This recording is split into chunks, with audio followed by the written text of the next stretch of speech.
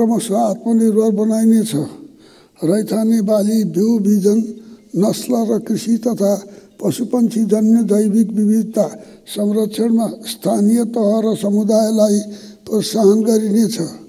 रैथाने बालीको संरक्षण र प्रवर्धन गर्दै निजी क्षेत्रलाई जातीय अनुसन्धान तथा विकासमा संलग्न गराई स्वदेशमा नै हाइब्रिड जातको बिउ विकास गरिनेछ।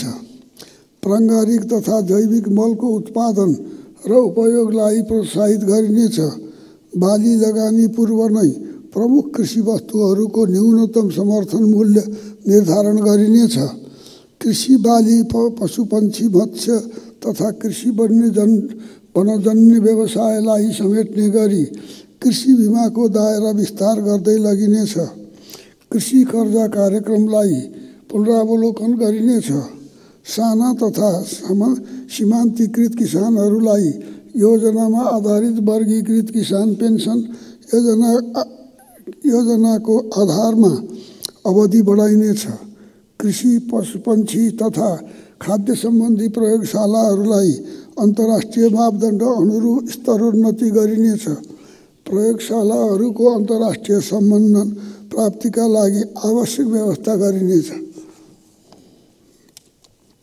खाद्य भण्डार गृहको क्षमता अभिवृद्धि गरी न्यूनतम परिमाणको खाद्यान्न मौदात राख्ने व्यवस्था गरिनेछ। दुर्गम तथा हिमाली क्षेत्रमा खाद्यान्न र आयोडिनयुक्त नुनको ढुवानीलाई थप व्यवस्थित बनाइनेछ।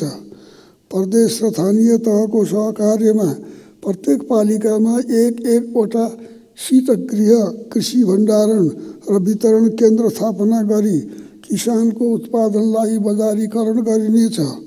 एक टोल एक सामूहिक कृषि उत्पादन एक वडा एक विशेष उत्पादन र एक पालिका एक उत्पादन क्षेत्र नीति मार्फत आत्मनिर्भर स्थानीय अर्थतन्त्रको निर्माण गरिनेछ। उपयोगमा नआएका तथा बाँझो जमिनमा कृषि खेती प्रवर्धन गर्न युवा लक्षित सहकारी तथा सामुदायिक खेती प्रणालीलाई प्रोत्साहित गरिनेछ कृषि उत्पादन वृद्धि गर्न भूमिको चक्लाबन्दीलाई प्रोत्साहित गरिनेछ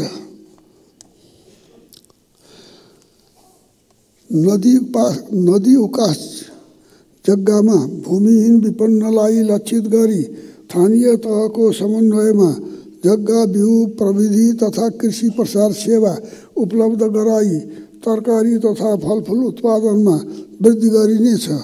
डिजिटल सोइल म्यापिङ कार्यलाई थप प्रभावकारी बनाइनेछ वडा स्तरसम्म कृषि तथा पशुपन्छी क्षेत्रका प्राविधिक जनशक्ति परिचालन गरिनेछ रासायनिक मल समयमै उपलब्ध गराइनेछ रासायनिक मल उत्पादन गर्ने कारखाना स्थापना गर्न बहुवर्षीय योजना तयार गरी कार्यान्वयनमा ल्याइनेछ स्थानीय तहमा जैविक मल कारखाना स्थापना गर्न प्रोत्साहित गरिनेछ।